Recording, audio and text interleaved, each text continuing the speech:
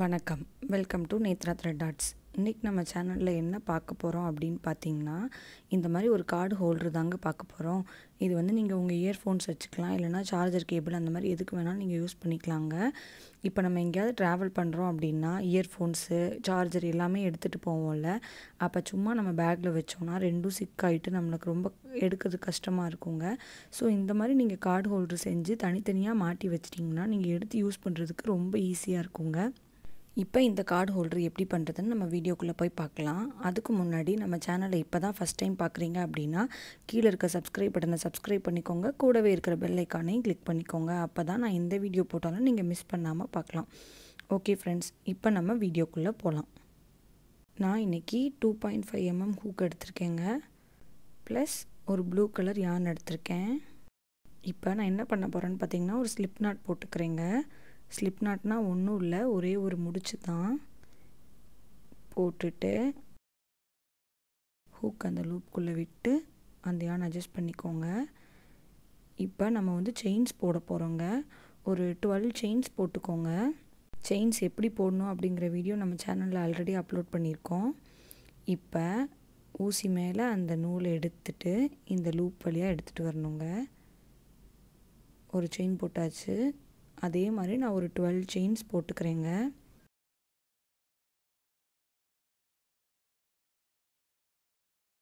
ஹூக்லேருந்து second செயினில் நான் வந்து சிங்கிள் க்ரோஷட் போட போகிறேங்க அந்த செயின்குள்ளே ஹூக்கை விட்டு அந்த யான் எடுக்கணுங்க. இப்போ ஹூக் மேலே ரெண்டு லூப் இருக்கா ரெண்டையும் சேர்த்து வெளில எடுக்கணும். இப்போ நான் ஒரு சிங்கிள் க்ரோஷட் போட்டேன். இப்போ அடுத்த செயினில் இன்னொரு சிங்கிள் க்ரோஷட் போடுறேன்.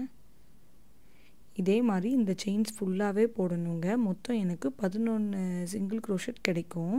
நான் இது ஃபுல்லாக போட்டுட்டு உங்களுக்கு எப்படி இருக்குங்கிறத நான் வந்து காட்டுறேன். இப்போ பாருங்கள் நான் வந்து இந்த ரோ முடிச்சிட்டேன். இப்போ நான் என்ன பண்ணுறேன்னு பார்த்தீங்கன்னா ஒரு செயின் போட்டு திருப்பிக்கோங்க அப்படியே.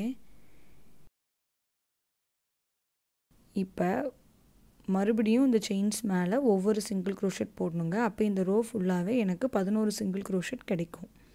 நான் ஃபுல்லாக போட்டுட்டு உங்களுக்கு காட்டுறேன் எப்படி இருக்குன்னு.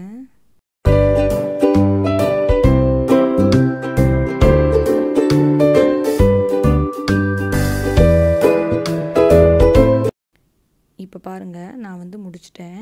இப்போ ஒரு செயின் போட்டு அப்படி திருப்பிக்கோங்க.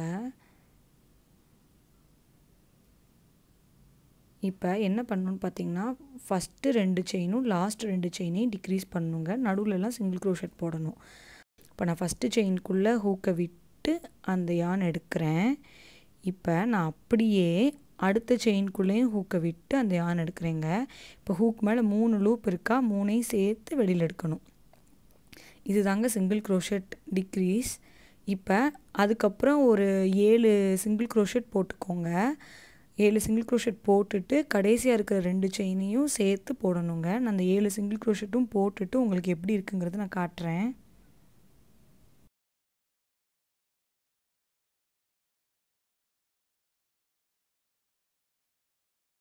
இப்போ பாருங்கள் நான் கடைசி ரெண்டு செயின் கிட்ட வந்துட்டேன். இப்போ ஃபஸ்ட்டு செயின்குள்ளே ஹூக்கை விட்டு அந்த யான் எடுக்கணும். எடுத்துட்டு அப்படியே அடுத்த செயின்லேயே ஹூக்கை விட்டு அந்த யான் எடுக்கணும்.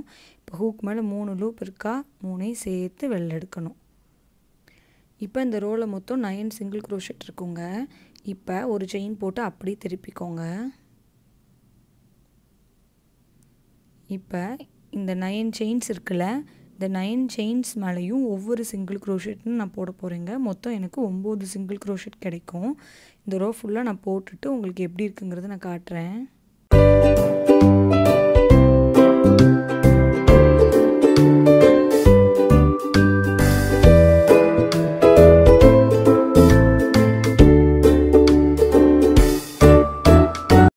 இப்போ பாருங்கள் நான் வந்து போட்டுட்டேன். இப்போ ஒரு செயின் போட்டு அப்படியே திருப்பிக்கோங்க.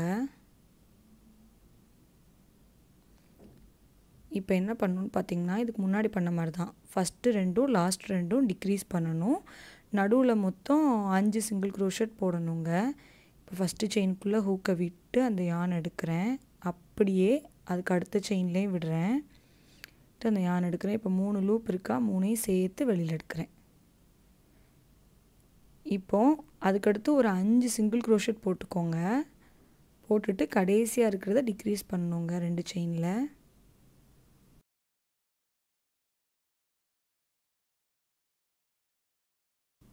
இப்போ பாருங்கள் கடைசி ரெண்டு செயின் கிட்ட வந்துட்டோம். இப்போ இது ரெண்டையும் டிக்ரீஸ் பண்ணுறேன் விட்டு எடுத்து அப்படியே அடுத்த செயின்லேயும் விட்டு எடுத்துட்டு மூணையும் சேர்த்து வெளில எடுக்கிறேன்.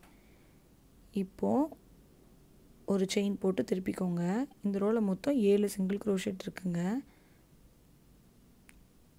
இப்போ இந்த ஏழு செயின்ஸ் மேலேயும் ஒவ்வொரு சிங்கிள் க்ரோஷெட்னு நான் போட போகிறேங்க மொத்தம் எனக்கு ஏழு சிங்கிள் க்ரோஷெட் கிடைக்கும் இந்த ரோலையும் நான் போட்டு உங்களுக்கு காட்டுறேன்.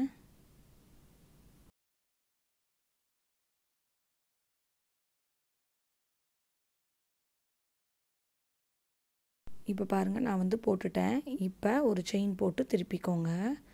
மறுபடியும் நம்ம டிக்ரீஸ் பண்ண போகிறோங்க ஃபஸ்ட்டு ரெண்டும் லாஸ்ட் ரெண்டும். அப்போ மொத்தம் எனக்கு அஞ்சு கிடைக்கும் இந்த ரோவில் ஃபஸ்ட்டு இதில் நான் டிக்ரீஸ் பண்ணிவிட்டு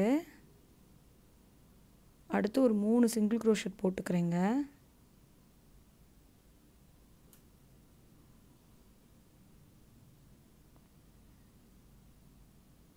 இப்போ கடைசி ரெண்டையும் டிக்ரீஸ் பண்ணணும்.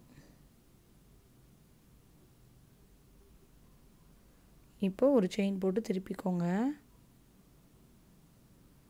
இப்போ இந்த அஞ்சு செயின்ஸ் மேலேயும் ஒவ்வொரு சிங்கிள் க்ரோஷெட் போடணுங்க.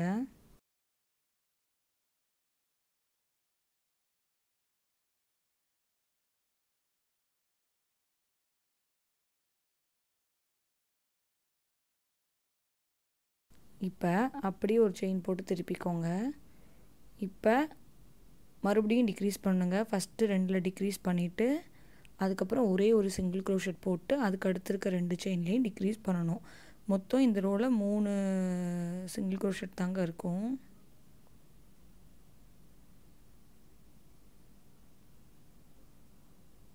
இப்போ அப்படியே ஒரு செயின் போட்டு திருப்பிக்கோங்க. மறுபடியும் இந்த மூணு செயின் மேலேயும் ஒவ்வொரு சிங்கிள் க்ரோஷட்னு போடணும். மொத்தம் மூணு சிங்கிள் க்ரோஷட்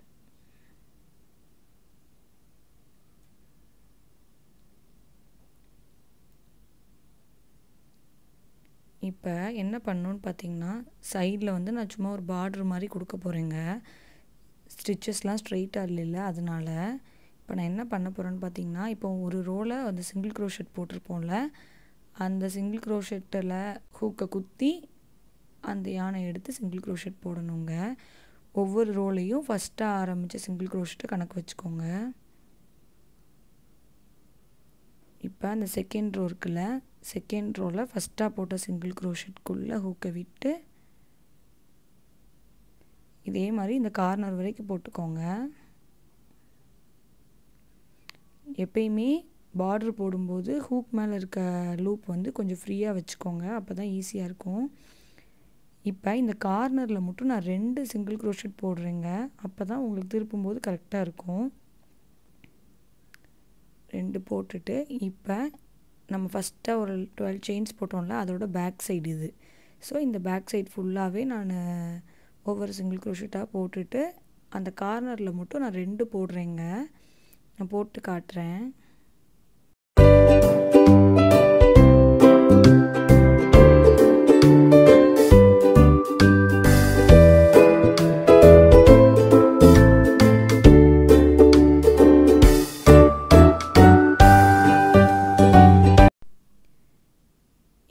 கார்னரில் ரெண்டு போடணுங்க.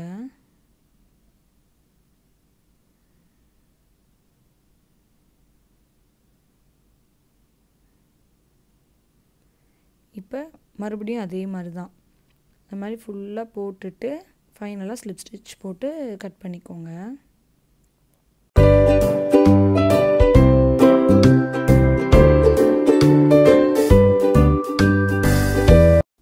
இப்போ பாருங்கள் நான் வந்து போட்டுட்டேன். ஃபஸ்ட்டாக போட்ட சிங்கிள் க்ரோஷெட் இருக்குல்ல அதில் போயிட்டு ஸ்லிப் ஸ்டிச் பண்ணிவிடுங்க அப்படியே ஒரு செயின் போட்டு கட் பண்ணிக்கோங்க.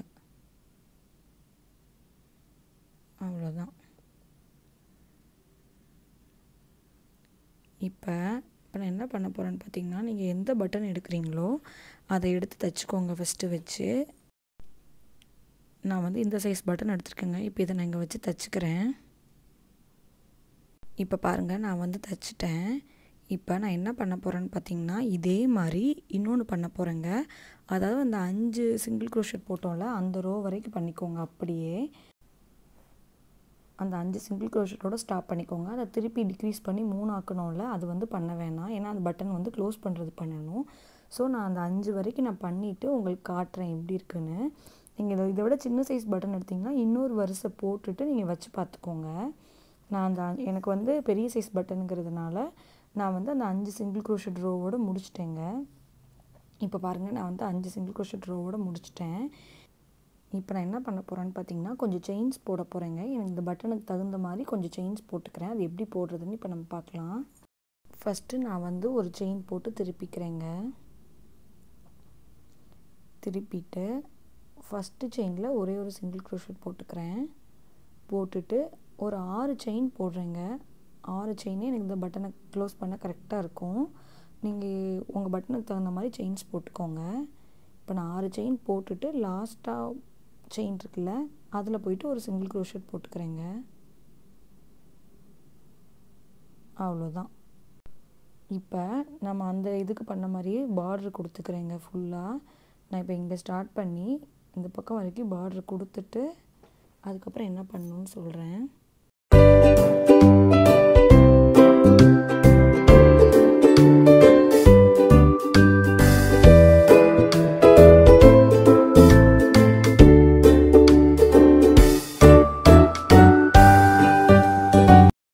இப்போ பாருங்கள் நம்ம வந்து இந்த செயின்ஸ் போட்டதுக்கிட்ட வந்துட்டோம். இப்போ இந்த ரவுண்டுக்குள்ளே தான் ஒர்க் பண்ண போகிறோம் ஒரு எட்டு சிங்கிள் க்ரோஷட் போட்டுக்கோங்க இந்த ரவுண்டுக்குள்ளே அதாவது கொஞ்சம் ஸ்ட்ராங்காக நிற்குங்க பட்டன் மாட்டும் போது அதுக்காக தான் நீங்கள் எவ்வளோ செயின்ஸ் போடுறீங்களோ அதுலேருந்து ஒரு ரெண்டு செயின்ஸ் எக்ஸ்ட்ரா சிங்கிள் க்ரோஷட் போட்டுக்கோங்க. இப்போ ஆறு செயின் போட்டதுனால நான் இதில் எட்டு சிங்கிள் க்ரோஷட் போடுறேங்க. ஸோ கொஞ்சம் ஸ்ட்ராங்காக இருக்கும். அதுக்காக தான் வேறு ஒன்றும் இல்லை. ஃபஸ்ட்டாக போட்ட சிங்கிள் க்ரோஷேட்டில் போயிட்டு நான் வந்து ஸ்லிப் ஸ்டிச் பண்ணிடுறேன். அவ்வளோதான் இப்போ ஒரு செயின் போட்டு கட் பண்ணிக்கோங்க.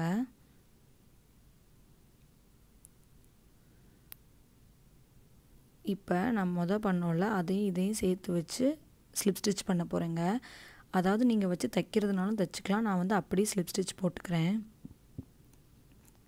இப்படி மாட்டிக்கோங்க. அப்போ தான் உங்களுக்கு வந்து ஸ்டிச் போடுறதுக்கு கொஞ்சம் ஈஸியாக இருக்கும். இப்போ நான் ஸ்லிப் நாட் போட்டு எடுத்து வச்சுருக்கேன். ரெண்டு பக்கம் செயின்லேயும் நான் சேர்த்து ஹூக்கை கொடுத்துருக்கேங்க. இப்போ அந்த யானை இந்த பக்கம் எடுத்துகிட்டு வரணும்.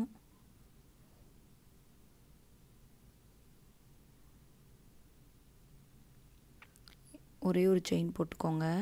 இப்போ ரெண்டு பக்கத்தில் உள்ள செயின்ஸும் கரெக்டாக சேர்த்து கொடுக்கணுங்க. இப்போ இந்த செயினில் கொடுத்துட்டேன். அந்த இதுலேயும் உள்ள செயினில் கொடுத்து அந்த யானை எடுத்து அப்படியே ஸ்லிப் ஸ்டிச்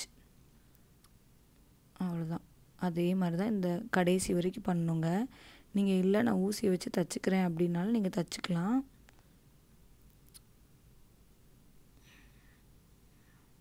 இந்த மாதிரி இந்த ரோ ஃபுல்லாகவே ஸ்லிப் ஸ்டிச் போட்டு கட் பண்ணிக்கோங்க. அவ்வளோதான் இப்போ கட் பண்ணிட வேண்டியது தான் இப்போது நம்மளோட கார்டு ஹோல்டர் வந்து ரெடி ஆகிடுச்சுங்க நான் இப்போ இந்த யான்ஸ்லாம் அட்ஜஸ்ட் பண்ணிவிட்டு காட்டுறேன் உங்களுக்கு. இப்போ பாருங்கள் நம்மளோட கார்டு ஹோல்டர் வந்து ரெடி ஆயிடுச்சு.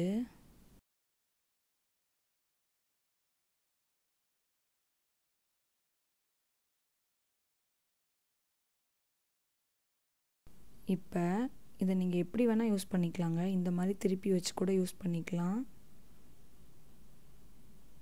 இல்லை அப்படின்னா அந்த மாதிரி ஆரஞ்சு கலர் இருக்குல்ல அது மாதிரி கூட யூஸ் பண்ணிக்கலாங்க. அதுனா கொஞ்சம் ஃப்ளாட்டாக இருக்கும். இது கொஞ்சம் உங்களுக்கு ரோல் ஆன மாதிரி இருக்கும். அவ்வளோதான் இந்த வீடியோ உங்களுக்கு பிடிச்சிருந்துச்சுன்னா லைக் பண்ணுங்கள் ஷேர் பண்ணுங்கள் கமெண்ட் பண்ணுங்கள் இதே மாதிரி நீங்களும் ட்ரை பண்ணீங்க அப்படின்னா இன்ஸ்டாகிராமில் என்னோடய ஐடிக்கு ஒரு ஃபோட்டோ எடுத்து சென்ட் பண்ணுங்கள் இதே மாதிரி இன்ட்ரெஸ்டிங்காக வேற ஒரு வீடியோவில் உங்கள் எல்லோரையும் வந்து மீட் பண்ணுறேன் நன்றி.